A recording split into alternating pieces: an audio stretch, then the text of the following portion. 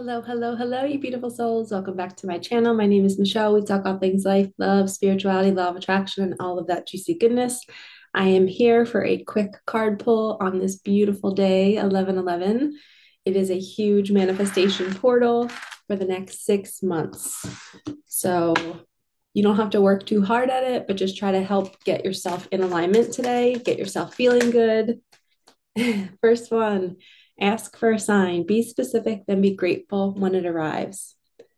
So, if there's a decision you're needing to make, or if you're just feeling like you're scared about your future path and you don't know which direction to go in, ask your guides, your angels, the universe, whatever you would like to call it, ask it for a sign. It will come through if it's what's meant to be. And no sign is also a sign. Okay, don't forget that. You can ask for animals, you can ask for a song on the radio, you can ask for um, maybe you love actors or certain actresses or movie stars. Say you could say their name and be like, bring them into my reality in some way. Whether somebody talks about them, you see their name written somewhere. You can you can literally ask for anything. Okay, we have your angels have been trying to communicate with you through numbers 1111. How funny so funny. Uh, 333 444 1234 777 888 1212. They're telling you you are in the flow. Heck yes.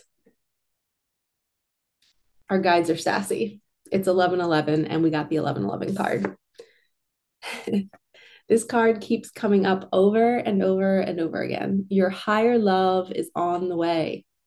You have done all the work. Sit back and receive now. And this message is for somebody out there who maybe you were just such a giver in all of your relationships before, and now it's your turn to receive. Now you don't have to give so much, and you deserve to be treated like a king or queen. Okay, let's do original tarot.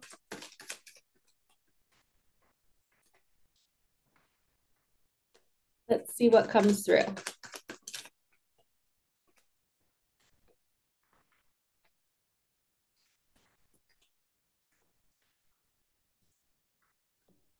Okay. we have the Emperor. This is divine masculine. And he is working on his pentacles. Pentacles are earthly possessions, money, um, a home, um, getting his finances together. So he's building abundance. And that is to provide for you, divine feminines, if you're watching. So the Emperor is the divine masculine. He is this grounded, strong, um, and if he's not grounded and strong yet, he's working his way to get there. That's what I just heard. Hence him, this guy over here. All right, let's get um, let's get an animal card. Spirit Animal Wisdom. These are all purchased on Amazon.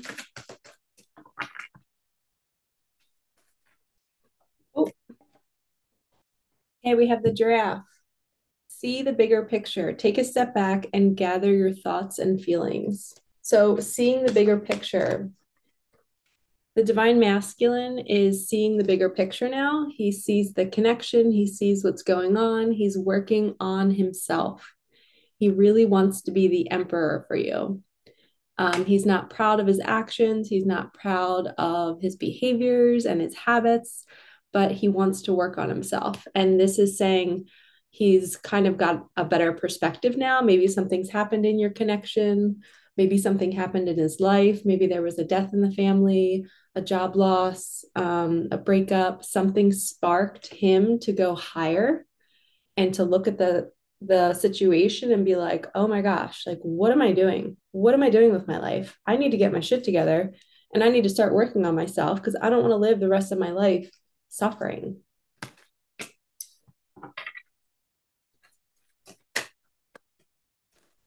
And I just heard that a lot of divine masculines have been searching for their purpose and their passion, and they've reached many milestones and they still don't feel fulfilled.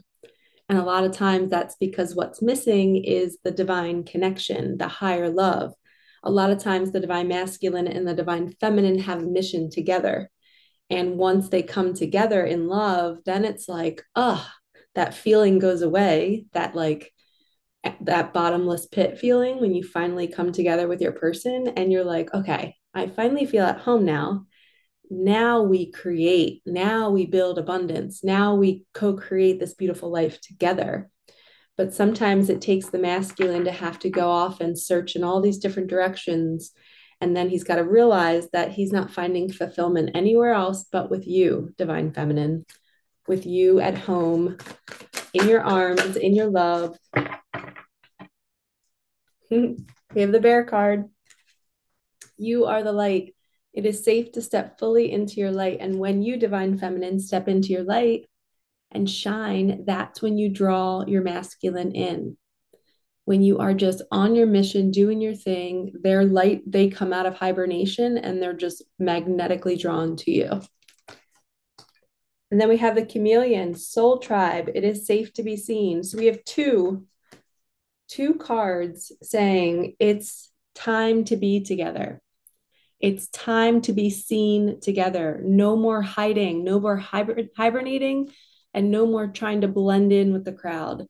It is safe now.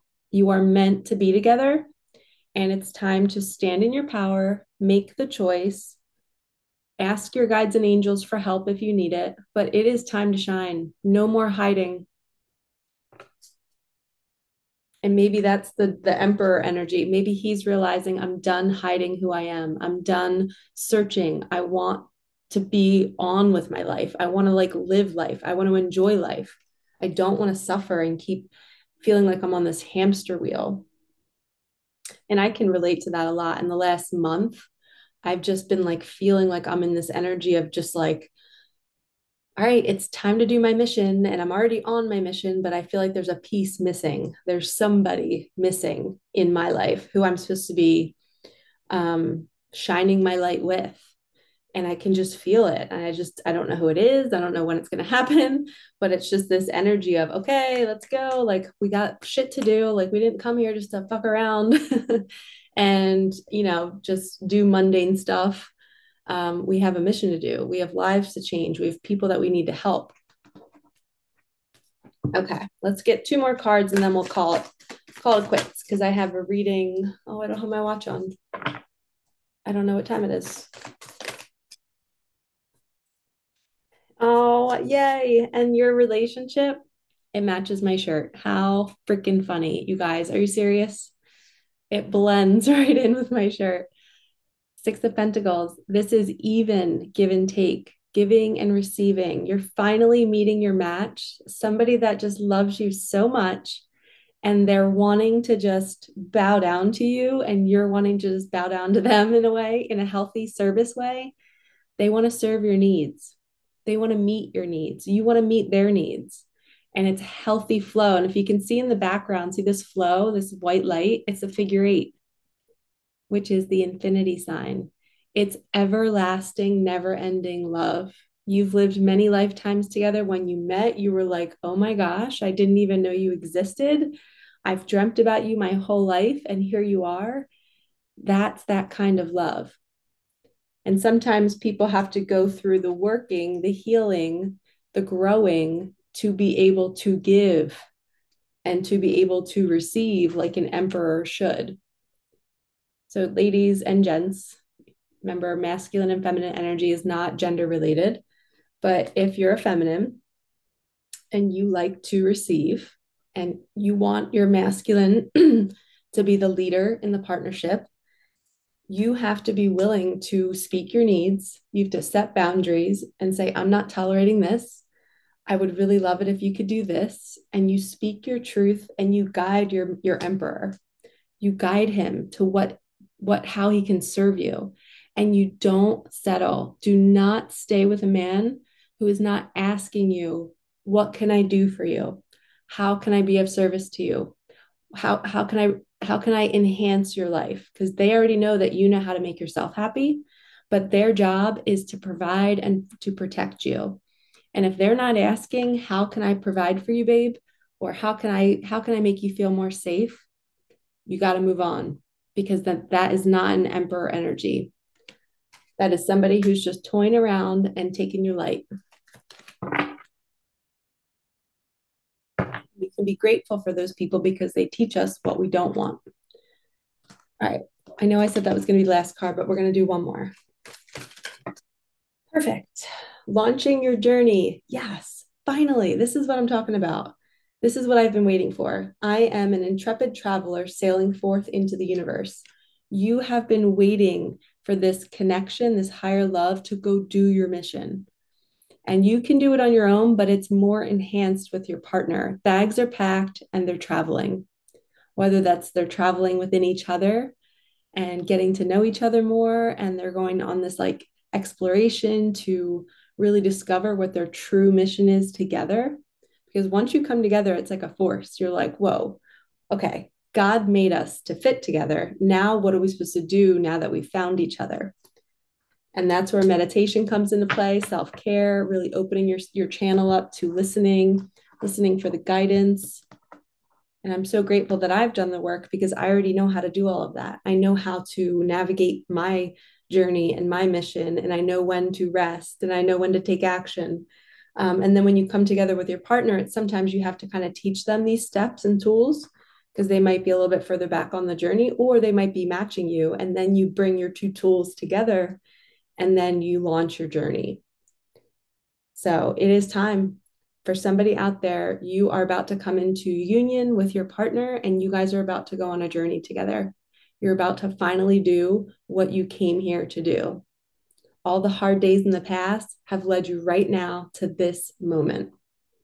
All right, lovies, this is an awesome reading for 1111 because if you didn't know, 1111 is the twin flame number.